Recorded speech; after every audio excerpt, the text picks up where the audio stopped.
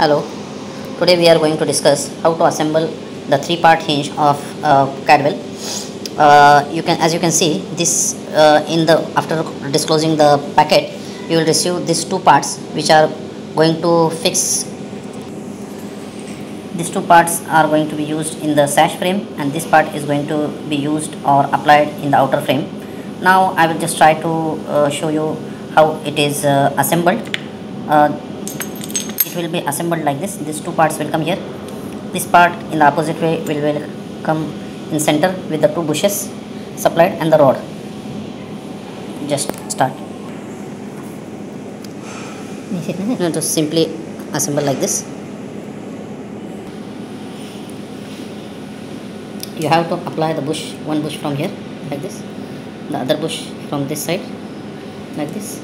And you have to put the half side this side and half side from this side like this.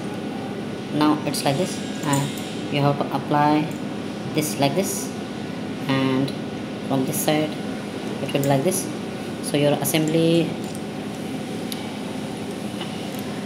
sorry this this will also come like this. So your assembly is like this now. This is correct. It should look like this from the top if you are able to see.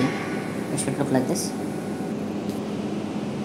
After assembling this we have hammered now. You have to make sure there's this flush here and this part flush here.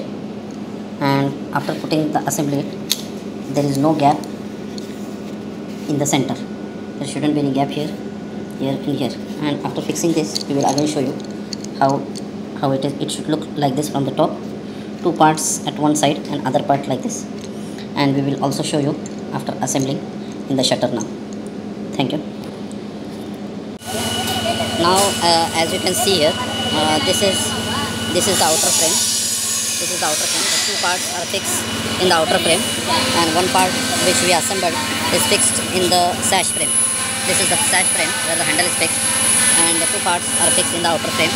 Similarly we have fixed uh, more hinges in the bottom